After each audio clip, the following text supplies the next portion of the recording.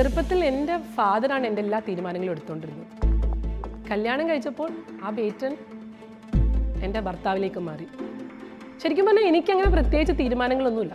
ഒരു സബ്മിസീവ് ക്യാരക്ടറായിരുന്നു ഞാൻ. സിമ്പിളായിട്ട് പറഞ്ഞു കഴിഞ്ഞാൽ കുടുംബത്തിൽ പിറന്ന പെൺകുട്ടികൾ ഇങ്ങനത്തെ ജോലിക്കൊന്നും പോകത്തില്ല. അന്ന് എനിക്ക് ഓൺടർപ്രണർഷിപ്പ് എന്താന്ന് പോലും അറിയത്തില്ല. അന്ന് വുമൺ ഓൺടർപ്രണർ എന്ന് പറഞ്ഞാൽ അങ്ങനെയൊന്നും ഇല്ല. ഈ ലയബിലിറ്റിയും ഈ ബാധ്യത മൊത്തം എന്റെ തലയിലേക്ക്.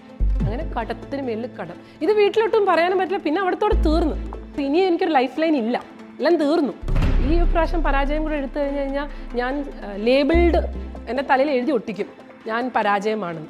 I'm proud of the fact that my my father's daughter my husband's wife പക്ഷേ എനിക്ക് എന്റെ ഇൻഡിവിജ്വാലിറ്റി വേണം. ഇതെന്റെ കോൺഫിഡൻസ് അല്ല. പൃഥ്വിരാജ് പറഞ്ഞ പോലെ ഇതെന്റെ അഹങ്കാരമാണ്. I'm a self made woman hello everybody നമസ്കാരം what is the expiry date of a woman's dream Manju Warrier തകർത്ത് അഭിനയിച്ച ഹൗ ഓൾഡ് ആർ യു എന്ന മൂവിയിലെ ഒരു മെയിൻ തീമാണിത് ആളുകൾ പറയുന്നത് മേ ബി കല്യാണം പ്രഗ്നൻസി കുട്ടികളെ വളർത്തുക പേരൻസിനെ നോക്കുക അല്ലെങ്കിൽ ഭർത്താവിന്റെ പേരൻസിനെ നോക്കുക. അക്കോർഡിംഗ് ടു മീ നമ്മൾ ജീവിതത്തിൽ എടുക്കുന്ന പല നിർണായക തീരുമാനങ്ങളും പല സന്ദർഭങ്ങളിൽ നമ്മൾ എടുക്കുന്ന തീരുമാനങ്ങൾ. അതാണ് ആക്ച്വലി നമ്മുടെ വിധി എഴുതുന്നത്. ഐ എം അനുജ അനുജ ബഷീർ ഞാനൊരു ഓൺടർപ്രിനറാണ് I run ventures like Oriya flexi cloud and digitalise ഒറിയാണ് എന്റെ കന്നി വെഞ്ചർ ഞാൻ രണ്ട് പ്രാവശ്യം വളരെയധികം മോശമായ രീതിയിൽ തകർന്ന് അടിഞ്ഞ് അതിൽ നിന്ന് വീണ്ടും ഉയർത്തെഴുന്നേറ്റ ഒരു ഓൺടർപ്രിനറാണ് I come from a aristocratic Islamic family അവിടെ എന്താണെന്ന് വെച്ചാൽ എപ്പോഴും എപ്പോഴും അവിടെ ആണുങ്ങളുടെയാണ് സേ വർക്ക് ചെയ്യുന്നത്. അവിടെ ഇറ്റ് ഇസ് ദെയർ കോൾ എന്റെ മമ്മി മെഡിക്കൽ കരിയർ ഉണ്ടായിട്ട് ആ ആഗ്രഹം ഉപേക്ഷിച്ച് ഞങ്ങളെ വളർത്തിയതാണ്. എന്റെ പപ്പായുടെ ജസ്റ്റിഫിക്കേഷൻ എന്താണെന്ന് വെച്ചാൽ അതുകൊണ്ട് ഞങ്ങളുടെ വീട്ടിൽ രണ്ട് എൻജിനീയേഴ്സ് ഉണ്ടായി. എന്റെ മമ്മി ആ സത്യത്തുമായിട്ട് പൊരുത്തപ്പെട്ട് കുറേ നാൾ ജീവിച്ചു പോയി. പക്ഷേ എന്നും എന്റെ അമ്മ എപ്പോഴും ഷീ മെയ്ഡ് ഷുവർ ദാറ്റ് എനിക്കെന്നും ഒരു കരിയർ ഉണ്ടാവണം. എന്റെ പപ്പ കമ്മീഷണർ ആയിരുന്നു അതുകൊണ്ട് പല സ്ഥലങ്ങളിലും ഞങ്ങൾ ട്രാൻസ്ഫർ ചെയ്ത് പല സ്കൂളുകളിലാണ് ഞാൻ പഠിച്ചത്. അവസാനം എഞ്ചിനീയറിങ്ങിന് എം എ കോളേജ് ഓഫ് എഞ്ചിനീയറിങ്ങിൽ ബി ടെക് സിവിൽ എടുത്തു. പേപ്പറിന്റെ റിസൾട്ട് വരുന്നതിന് മുമ്പേ ഞാൻ ദുബായിക്ക് എന്റെ അങ്കിളിന്റെ അടുത്ത് പോയി. അവിടെ പുള്ളി ഒരു സിവിൽ എഞ്ചിനീയർ ആയിരുന്നു. അതുകൊണ്ട് തന്നെ ആ കമ്പനിയിൽ ഞാൻ ജസ്റ്റ് ഒന്ന് ഒരിക്കൽ വിസിറ്റ് ചെയ്തപ്പോൾ അത്യാവശ്യം ഞാൻ സ്മാർട്ടായിരുന്നത് കൊണ്ടും നല്ല ഇംഗ്ലീഷൊക്കെ സംസാരിക്കുന്നത് കൊണ്ടും I got placed in that company അങ്ങനെ ഞാനൊരു സിവിൽ എഞ്ചിനീയറായി ഞങ്ങളൊരു നേരത്തെ പറഞ്ഞ പോലെ ഒരു ഇസ്ലാമിക് സൊസൈറ്റി ആയതുകൊണ്ടും വളരെ പെട്ടെന്ന് ഞങ്ങളുടെ പെൺകുട്ടികളെ കല്യാണം കഴിച്ചു വിടും. അതുകൊണ്ട് തന്നെ കുറച്ച് നാൾക്കുള്ളിൽ തന്നെ എന്റെ കല്യാണവും കഴിഞ്ഞു. I went with my husband back to Dubai അവിടെ ഈ പറഞ്ഞ പോലെ കുറേ നാൾ വർക്ക് ചെയ്തു. രണ്ട് കുട്ടികളുണ്ടായി. പുറമേ നിന്ന് നോക്കുമ്പോൾ എല്ലാം പെർഫെക്റ്റ് ആണ്. ആക്ച്വലി പെർഫെക്റ്റ് ആണ് താനും. പക്ഷേ ഇവിടെ ഒരു ചെറിയ പ്രശ്നമുണ്ട്. എന്താണെന്ന് വെച്ച് കഴിഞ്ഞാൽ ചെറുപ്പത്തിൽ എന്റെ ഫാദറാണ് എന്റെ എല്ലാ തീരുമാനങ്ങളും എടുത്തുകൊണ്ടിരുന്നത് കല്യാണം കഴിച്ചപ്പോൾ ആ ബേറ്റൻ എന്റെ ഭർത്താവിലേക്ക് മാറി. ശരിക്കും പറഞ്ഞാൽ എനിക്കങ്ങനെ പ്രത്യേകിച്ച് തീരുമാനങ്ങളൊന്നുമില്ല. ഒരു സബ്മിസീവ് ക്യാരക്ടറായിരുന്നു ഞാൻ. അങ്ങനെയാണ് ഞങ്ങളുടെ പെൺകുട്ടികളെ വളർത്തുന്നത്. അത് ആക്ച്വലി ആരുടെയും കുറ്റമല്ല. ബേസിക്കലി എന്റെ പപ്പ വളരെ നല്ലൊരു മനുഷ്യനാണ്. എന്റെ ഭർത്താവ് വളരെ നല്ല മനുഷ്യനാണ്. പക്ഷേ എന്താണെന്ന് വെച്ച് കഴിഞ്ഞാൽ സൊസൈറ്റി അങ്ങനെയാണ് അവരെ കാർവ് ചെയ്തെടുത്തേക്കുന്നത്. സോ കുറേ നാൾ കഴിഞ്ഞപ്പോഴത്തേക്കിനും എനിക്ക് ഉള്ളിന്റെ ഉള്ളിൽ അറിയാതെ ഒരു ചോദ്യം വന്ന് എനിക്കൊരു സേ ഇല്ലേ?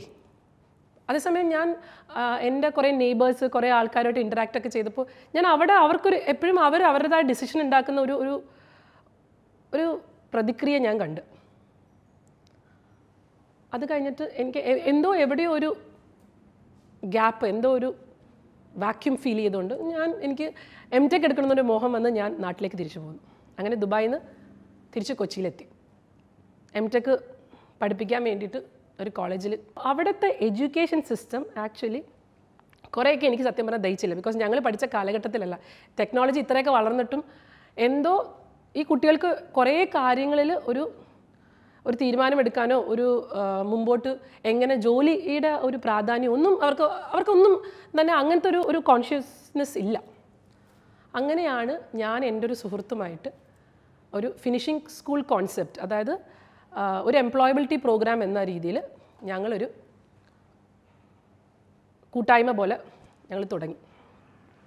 പക്ഷേ അവിടെയും ഈ പറഞ്ഞ പോലെ വിധി എനിക്ക് വേണ്ടി ഇങ്ങനെ കാത്തിരിക്കുകയാണ് വിധിയിൽ ഞാൻ വിശ്വസിക്കുന്നില്ലെങ്കിൽ പോലും ഞങ്ങൾ ഉദ്ദേശിച്ച പോലെ കാര്യങ്ങളൊന്നും നടന്നില്ല.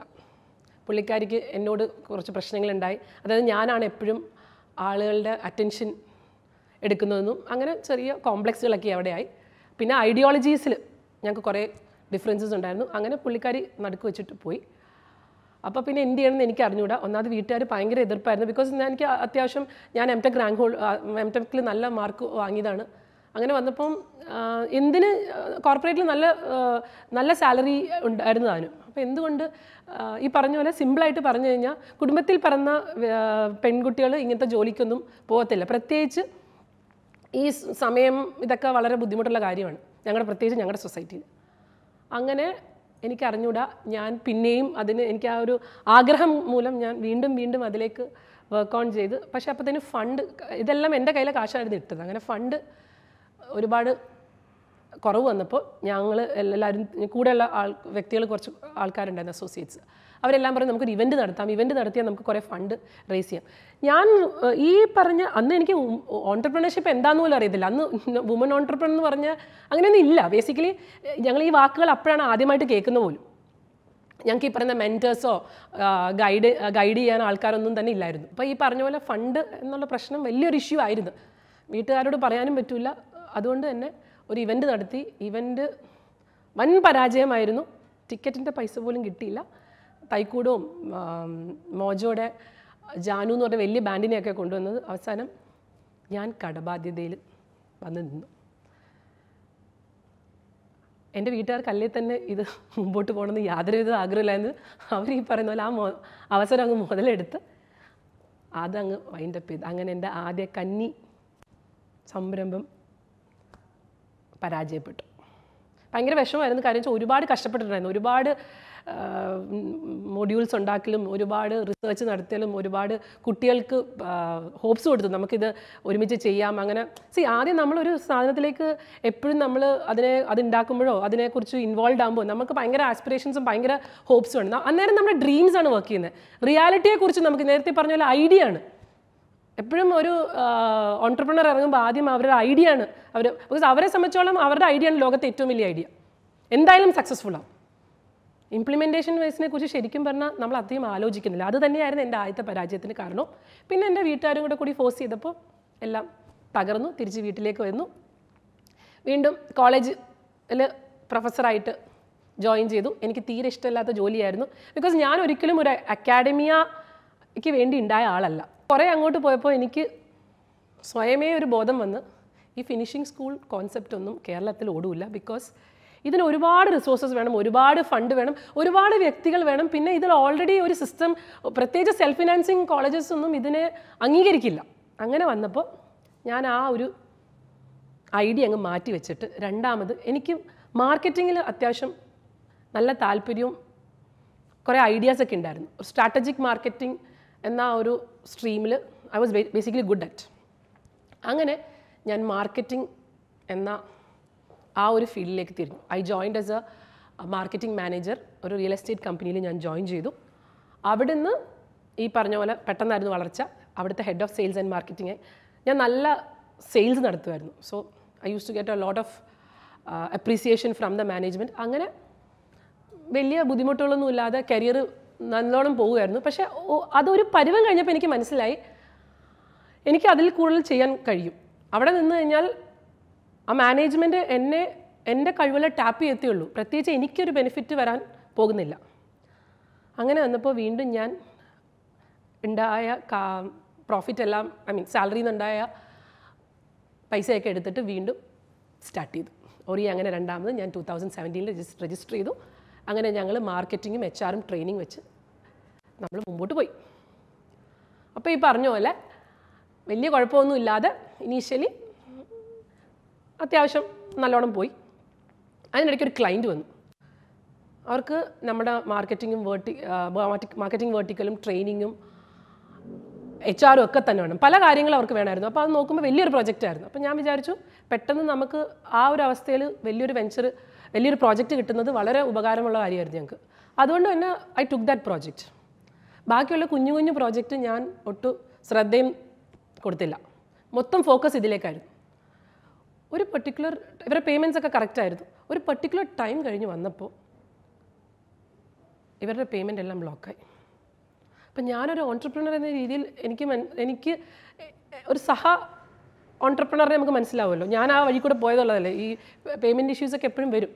അപ്പോൾ അതുകൊണ്ട് പിന്നെ എന്റെ പെർസ്പെക്റ്റീവ് അതായത് ഞാൻ എപ്പോഴും ഒരു ആളുകളിൽ ഗുഡ്നെസ് കാണുന്ന ഒരാളാണ്. അതുകൊണ്ട് തന്നെ ഞാൻ വിചാരിച്ച് അവർക്ക് താൽക്കാലികമായി വന്നതാണ് അവർ തിരിച്ചു തരുന്നത്. അതിനിടയ്ക്ക് എനിക്ക് ഫാമിലി ആയിട്ട് സിംഗപ്പൂർ ഒരു ടൂർ പോകേണ്ടി വന്നു. അത് കഴിഞ്ഞ് തിരിച്ചു വന്നപ്പോൾ ഇരുപത്തഞ്ച് ലക്ഷം രൂപയുടെ കടം. പേയ്മെന്റ് ഇല്ല. ഈ വെൻഡേഴ്സൊക്കെ എന്റെ ക്രെഡൻഷ്യൽസാണ് വർക്ക് ചെയ്തത്. അതുകൊണ്ട് തന്നെ ഈ ലയബിലിറ്റിയും ഈ ബാധ്യത മൊത്തം എന്റെ തലയിലേക്കായി അങ്ങനെ കടത്തിന് മേലിൽ കടം. ഇത് വീട്ടിലൊട്ടും പറയാനും പറ്റില്ല. പിന്നെ അവിടത്തോട് തീർന്നു. എന്റെ അഹങ്കാരം എനിക്ക് അറിഞ്ഞൂടാ പിന്നെ ശരിക്കും പറഞ്ഞാൽ എനിക്ക് എന്താ ചെയ്യേണ്ടതെന്ന് തന്നെ അറിഞ്ഞൂടാ. രണ്ടാമത്തെ വെഞ്ചർ ആദ്യം പരാജയപ്പെട്ടു. രണ്ടാമത് പരാജയം എന്ന് പറഞ്ഞാൽ രണ്ടാമത്തെ പരാജയമൊക്കെ എടുക്കാൻ ഭയങ്കര പാടാട്ടോ. പറയുമ്പോൾ ഭയങ്കര തിയററ്റിക്കലി ഭയങ്കര രസമുള്ള സംഭവമൊക്കെയാണ് but it is not that very easy എന്നെ മൊത്തം ലോകം മൊത്തം എന്നെ ക്രിറ്റിസൈസ് ചെയ്യാൻ തുടങ്ങി. ഭയങ്കര കഴിവുള്ള വ്യക്തിയായിരുന്നു എവിടെ എത്തി എന്തായി? എന്നിട്ടും എനിക്ക് മാത്രം എന്താണ് ഇങ്ങനെയൊക്കെ സംഭവിക്കുന്നത് ഇതെന്താണ് എന്റെ കഥയിൽ മാത്രം? എനിക്ക് എന്താ നോർമൽ ലൈഫ് ഇല്ലാത്തത്? പിന്നെയാണ് എനിക്ക് മനസ്സിലായത് മേ ബി എന്റെ ലൈഫ് എക്സ്ട്രാ ഓർഡിനറി ആയിരിക്കണം. അപ്പോൾ എന്നോട് എല്ലാവരും ചോദിച്ചു ഇനി എങ്ങോട്ടാണ്? തിരിച്ച് ജോലിയിലേക്ക് കയറുന്നോ അതോ വീണ്ടും ഓണ്ടർപ്രണർ അതൊരു കളിയാക്കലായിരുന്നു. അപ്പോൾ എന്റെ ഒരു ഫ്രണ്ട് വളരെ ക്ലോസ് ആയിട്ടുള്ള ഫ്രണ്ട് എന്നോട് പറഞ്ഞു രണ്ട് ചോയ്സസ് ഉണ്ട്. ഒന്നില്ലെങ്കിൽ എം എൻ സിയിൽ കയറാം. നല്ല അത്യാവശ്യം നല്ല സാലറി കിട്ടും ബിക്കോസ് എനിക്ക് അതിന് എക്സ്പീരിയൻസ് ഉണ്ട്. പക്ഷേ ഓണ്ടർപ്രണർഷിപ്പിൽ പോയി കഴിഞ്ഞാൽ പ്രത്യേകിച്ച് ഒന്നുമില്ല ഓൾറെഡി എല്ലാം കത്തിക്കഴിഞ്ഞിരിക്കുകയാണ്. എനിക്കെന്തോ ഇത്രയൊക്കെ ഇത്രയൊക്കെ അനുഭവം ഉണ്ടായിട്ടും. എന്റെ ഉള്ളുവിളി വന്നത് തിരിച്ച് ഞാൻ ഓണ്ടർപ്രണർഷിപ്പ് ബിക്കോസ് അതെന്നെ തകർത്ത് എന്റെ എന്റെ ഇൻഡിവിജ്വാലിറ്റി എന്റെ ഐഡന്റിറ്റി തന്നെ അത് തകർത്ത്.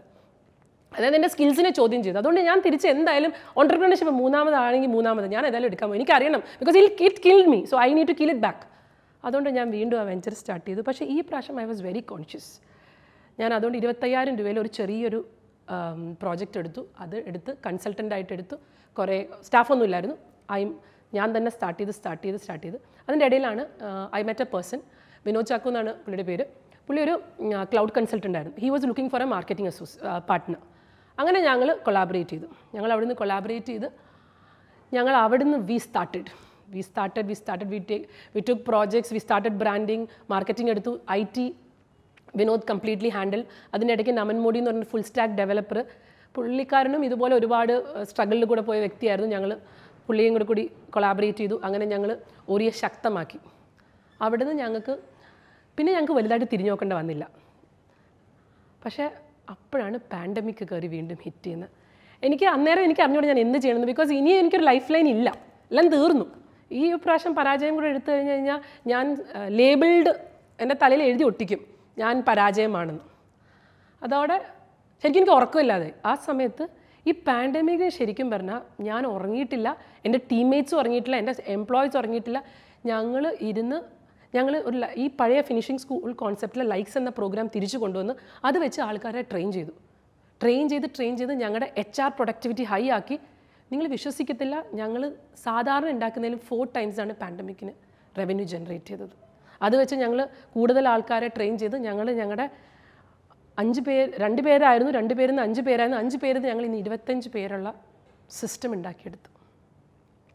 അത് പത്രങ്ങളിലൊക്കെ ഈ ഒരു ലൈക്സ് പ്രോഗ്രാമിൽ ഞങ്ങൾ ഉണ്ടാക്കിയ impact post പാൻഡമിക്കിൽ an entrepreneurial stature which stood against the pandemic എന്ന് പറഞ്ഞ് കുറേ തലക്കെട്ട് new Times of India Hindustan Times Week അങ്ങനെ പല പല സ്ഥലത്തും ഫീച്ചേർഡായി അങ്ങനെ people call me as a successful person ശരിക്കും പിന്നെ സക്സസ് എന്താണ്? സക്സസിന്റെ ഡെഫിനിഷൻ എന്താണ്?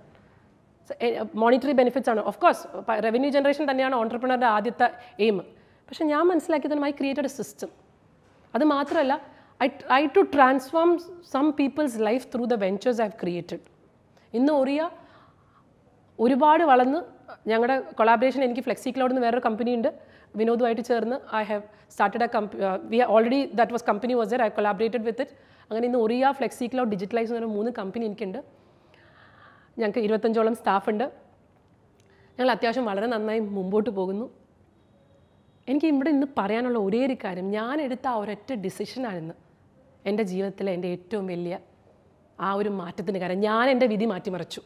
എനിക്ക് അന്ന് വേണമെന്നുണ്ടെങ്കിൽ ഞാൻ തിരിച്ച് എം എൻ സി പോയി ഞാനൊരു എംപ്ലോയി ആയി. അന്നേരം പിന്നെ ഞാൻ ഫെയിലിയർ ആയിരുന്നേനെ. പക്ഷേ ആ ഫെയിലിയേഴ്സിൽ നിന്ന് ഞാൻ പൊങ്ങി വന്നത് എന്റെ ഡിസിഷൻ കാരണം because it prove my identity my individuality I ഞാൻ അത് തന്നെയാണ് ഇവിടെ പറയാൻ ഉദ്ദേശിക്കുന്നത്. I don't want to be a shadow of anyone എനിക്ക് ആരുടെയും നിഴലാവണ്ട. I'm proud of the fact that my my father's daughter my husband's wife പക്ഷേ എനിക്ക് എന്റെ ഇൻഡിവിജ്വാലിറ്റി വേണം. ഇതെന്റെ കോൺഫിഡൻസ് അല്ല. പൃഥ്വിരാജ് പറഞ്ഞ പോലെ ഇതെന്റെ അഹങ്കാരമാണ്. I'm a self made woman everything crash me but today I came out so well that I believe in me more than anything ഇനി എത്ര financially തകർന്നാലും I come up because now I have the confidence അപ്പം ഞാൻ മനസ്സിലാക്കുന്ന ഒറ്റൊരു കാര്യം.